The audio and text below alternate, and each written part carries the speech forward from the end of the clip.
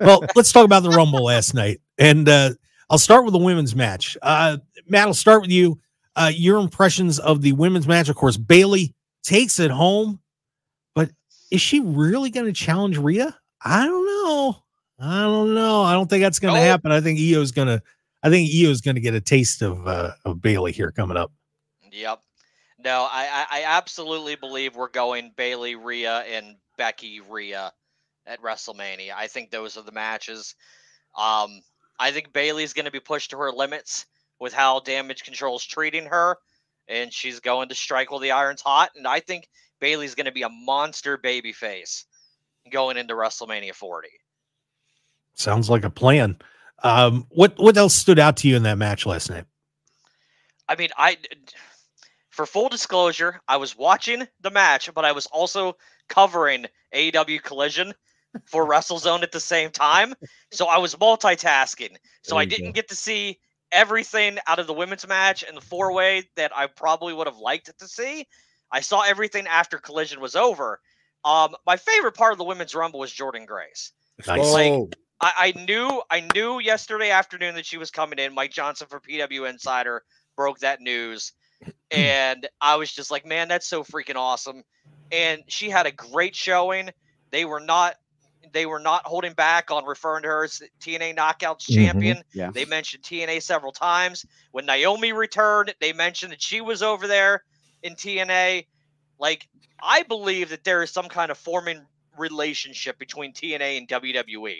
And especially since the TNA Plus streaming service is handled by Endeavor, Right. Endeavor owns WWE. I I I think it's going to be a slowly but a slow and steady process, but I think we're going to see a lot more working relationship and partnership between WWE and TNA throughout 2024.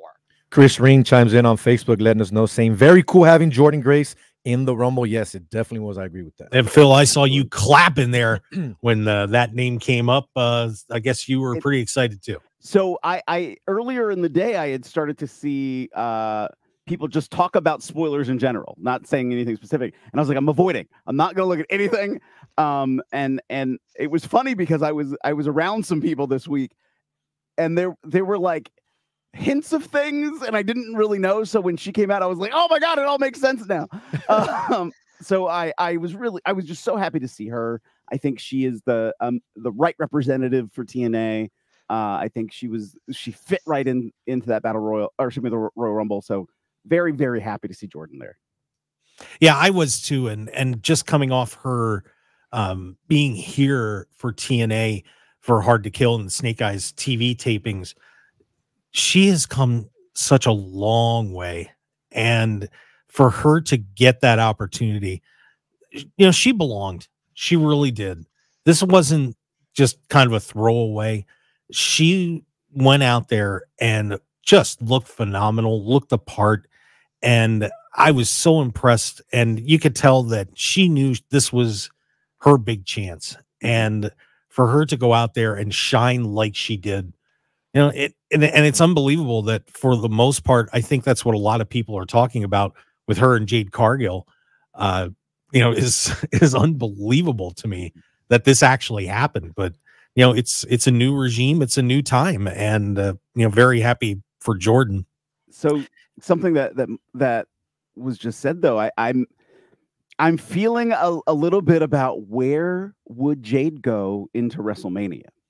Is Jade going going to be shotgunned right into a title match? I think everything Matt just said is is true. I think all that's happening, but part of my brain is like, and then is it also Jade in a three way in one of the one of the two women's championship matches. I, I don't think know. it's I think it's Jade against Bianca Belair.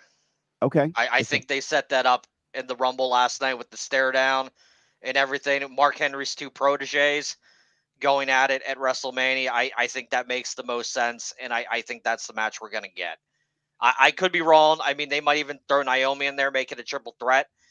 Um, because you can't you can't bring Naomi in after everything she did in TNA and not give her a big WrestleMania match and to throw her back in a tag team of some sorts after the way she left the last time does not seem like a good idea. Right. So may- maybe they let those three women triple threat. Um, but they they WWE has a good pro. They they have a good problem right now with all the talent they have in their women's division because they're all there's there's a lot of people who just rightfully deserve a spot at WrestleMania, and they're gonna have to figure out how all the puzzle pieces fit. Mhm.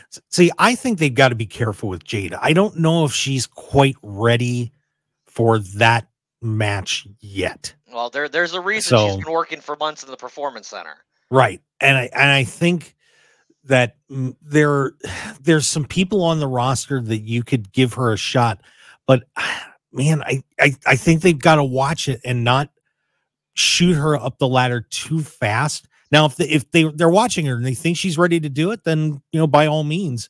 But I would be really careful because the last thing you want to do is put her out there in a situation that she's not going to succeed, and then everybody's like, "Oh, you know she's not that good and then you and then you ruin it. So you know that's you know that's up to the pros to decide. I'm you know that's not me but you know i would i would watch it before you start putting her in a ring with bianca belair and saying go for it. So I, That's just I, me. gotta bel I gotta believe the amount of work that she's putting in at the performance center. By WrestleMania, she should be ready to have a good match with Bianca Belair. And, maybe I'm wrong. And look, if you're worried about her, a triple threat makes all the more sense because she doesn't have to do as much in a triple threat. You know, she can dive out and lay out in, in certain points in the match and let Naomi and Bianca, you know, do their thing. So I, I think she's going to be in, in in a showcase match at WrestleMania. I just don't know for sure um how much confidence they have in her like you like you said. So I guess we'll I guess we'll find out in less than 2 months. i guess we will